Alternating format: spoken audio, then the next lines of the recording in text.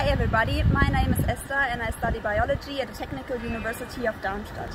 I am currently doing my master thesis here at GSI at the Biophysics department. I'm working with a three-dimensional human heart model. This model is used to study the effects of irradiation on the human heart.